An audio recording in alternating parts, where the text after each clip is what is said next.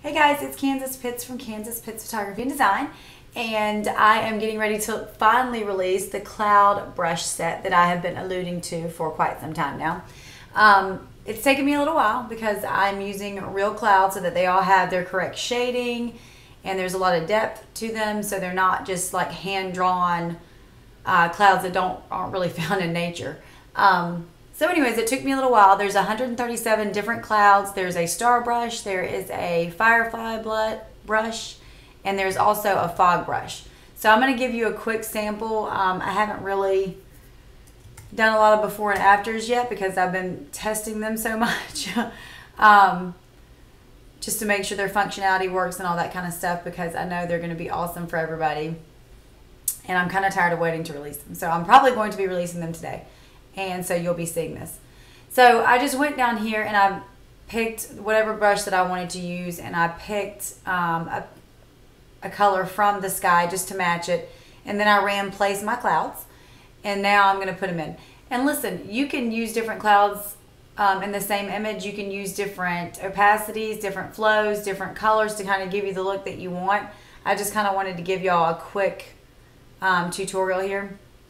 And so I just ran that and that is looking beautiful. I love that. And you can try different blending modes too. They might be different for different. I put a little cheat sheet in um, with your download that kind of says if you're using dark clouds on light skies, this is the blending mode you might want to try and different things like that. And you can obviously change the opacity um, and you can continue to paint on. You don't have to just do one color and one cloud. You can do all kinds of stuff. Um, the wispy ones down here are probably some of my favorite ones.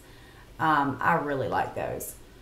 Um, so you can just keep adding in and do whatever do whatever you want to do. Um, they're really pretty. Um, let's see. Oh yeah, this is one I was experimenting on earlier. I mean, I think I clicked like five times and then I blurred them and then that was it. Um, same thing with this one. I mean, I literally just clicked and went with it. Um, I'll show you these real quick too, the fog brush. So you're just gonna go to place my fog and then I'll probably just use that orangey color. The color doesn't matter as much as, um, you know, you kind of want it to match your scene, but it's not that big of a deal. It's gonna blur it a lot. So anyways, we just ran one action and then we got our fog there, which is super cool.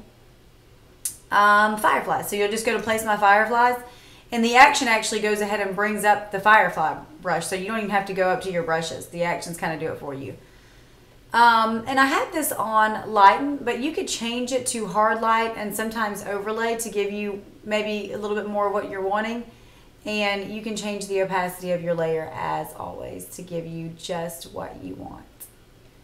Um, so anyways, I just wanted to show you guys that. These are all the clouds. That's the star brush. There's the Firefly brush and here is the fog one and the rest of these are true to life clouds. In fact, if you want me to, I will. Let's see if we can pull up something and I'll kind of show you some of them. I'll just get a blue sky just because, I mean, like these are clouds. And then we'll reset this and go to white. And I'll show you some of the clouds here. Put my opacity up so you guys can see it. Um, let's see. So there's a few of them that we may have to do this. There's a few of them that are kind of just for the top. So I love that one. Um, there's a couple other ones that are like that that are just for the top right here. Boom. So that's kind of cool. Uh, let's see. There's actually a couple that are really big and they will almost cover your whole sky if that's what you want to do. I don't know where it is. But I'll show you some of the other ones. So some of the wispy ones are super fun. See how that one, I mean, that's awesome. That's just going to give you just a little bit of hint of color in your sky, which is perfect, and just give you a little bit of interest, right? There's that one. And I try to make these really big so that you can make them smaller or bigger or cover your entire uh, sky if you want to or not, you know? But these are so easy and you can do so much with them if with, when you're changing colors with them, if you're blurring them or not blurring them. You can, like I said, adjust your opacity, adjust your flow. Um, they're just super fun. So, anyways, I'm very excited about these. And as with my other Sky things, you'll be able to join the Sky group, and there'll be tutorials in there as well. Um, and I'll be able to answer your questions and stuff in there as well. So, anyways, thanks, guys. I appreciate it.